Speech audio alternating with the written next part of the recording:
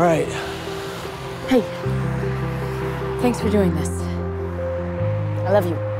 Basically, I've been interviewing artists, uh, trying to get a sense of both the history of dance as well as where it's going. And according to Juilliard, you've choreographed operas at almost every major theater in the world. This is true. I guess the first thing I'd like to know is why, how, and where you started teaching. How long is the tape? I was the talk of the town, in the part of the town that talks about dance. Could you talk about what it was like in the 60s? Ooh, he asks questions too. We exhausted ourselves with sex. That woman had more basic positions than Baryshnikov. Were you gay in 1967? Were you? I'm probably not into whatever you are into.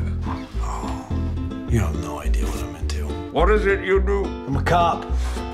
He arrested some small-time drug dealer and beat the shit out of him. What sort of dealer? Hash. Jesus! Can you just tell us whether or not those are the dates that you remember?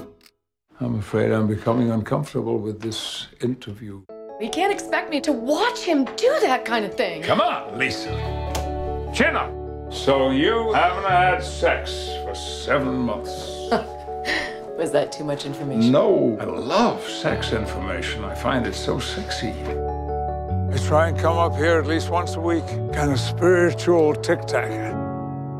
Look at me and tell me all you want. All I am saying is don't stay stuck, Lisa. Will you try?